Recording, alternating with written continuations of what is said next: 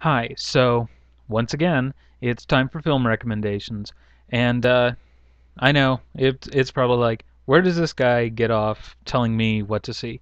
And it's not so much that I'm telling you what you need to see, I'm telling you more what I like uh, simply as a means of expressing myself. And uh, in this case, uh, it's sharing something that I'm really passionate about, which is film, and uh, and in some cases television, uh, in a way that only YouTube would really allow me to do. In because if I were to try and get this show aired on any network, I'm pretty sure it would be off the air inside of less than a week. Uh, but anyway, so here I'm going to be starting up with a couple of uh, really cool things. One is a 1980s historical piece, uh, and I know you're probably familiar with it. This is the director's cut of Amadeus. I was able to pick this up for not too much at the local Costco uh, back this summer, and uh, it is a long, long movie. Uh, I will not even lie. Plus side, it has some wonderful pieces written by Mozart and Salieri. Um, personally, uh, I don't like the fact that they cast uh, Salieri in such a bad light, but uh, it offers a dynamic for the storytelling.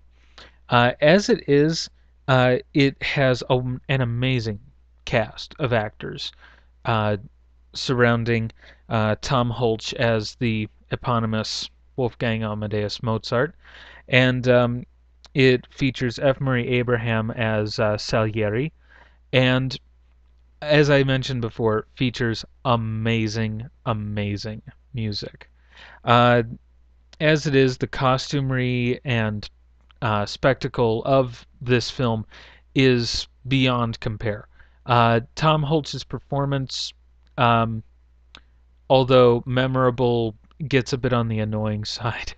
Um, so I wouldn't really uh, recommend you watch it with the kids, obviously, because while yes, Mozart is supposed to make people smarter, uh, in this case, I'm pretty sure that they that the kids would be wanting to go to bed after such a long, boring movie, uh, if they weren't already asleep, uh, and then weren't constantly awoken by Tom Hulce's performance with uh, Amadeus having this very high, shrill cackle of a laugh that will just, you know, make you like, oh no, no, don't ever, no, don't do that. Uh, but as it is, this uh, this copy of the film uh, comes with two discs and uh, full documentary, uh, full commentary. Uh, I want to say, yes, full length audio commentary by the director and producer, and it's really an amazing piece. if you just watch it from beginning to end, it flows like a novel. So I think you'll get a lot out of it. Uh, it has won several awards, of course, uh, eight Academy Awards, including Best Picture, right there on the cover.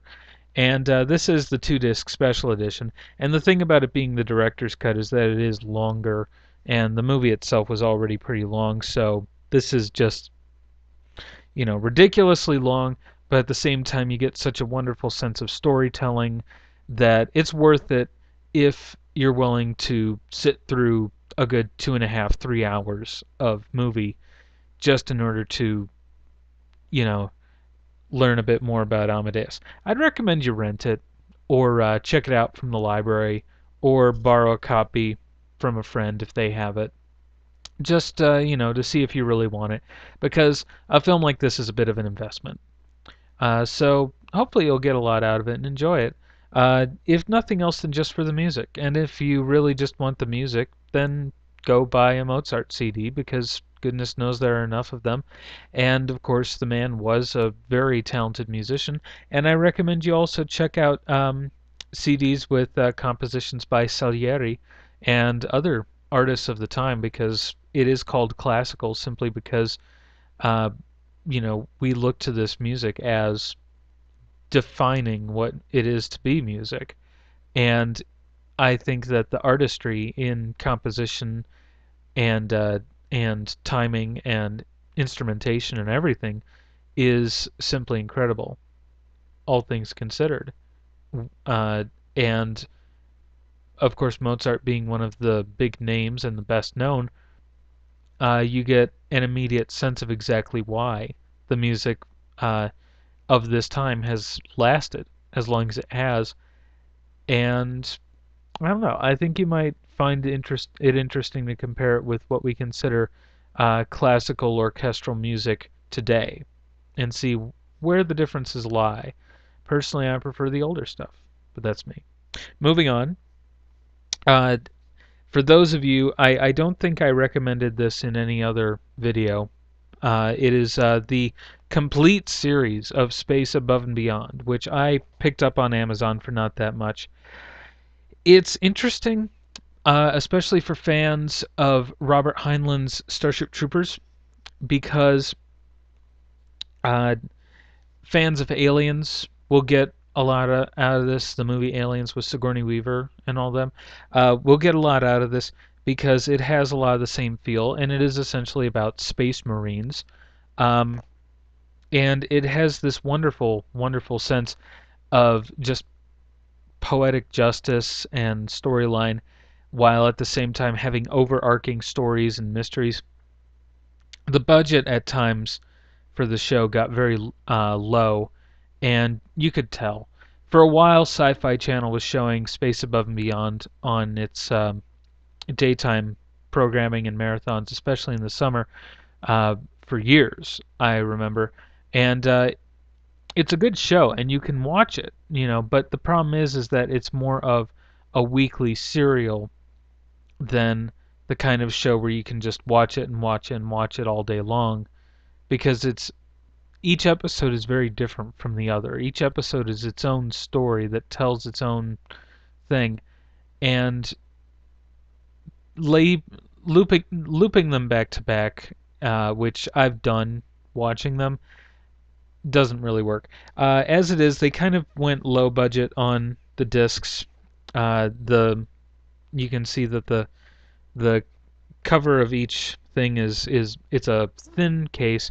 Um, there are no real uh, there, there are no documentaries, no um, no n- no anything. It, it's really uh, a very bare bones edition.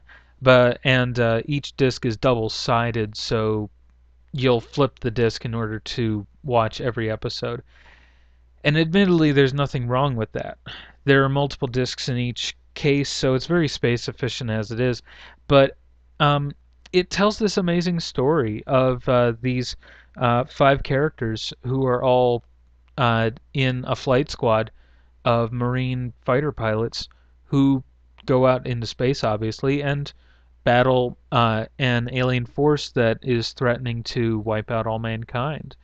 And it's interesting because you just see this whole different side to humanity. You see this whole different side to soldiering that could have only been told pre 9 11 because uh, now, if you were to tell these stories uh, with the humanity that's drawn in to each character, you would have so many people just turning it off and saying, That's not how soldiers are. They're tough. They don't have emotions. And it's like, well, no. They have families, they have friends, they have loved ones.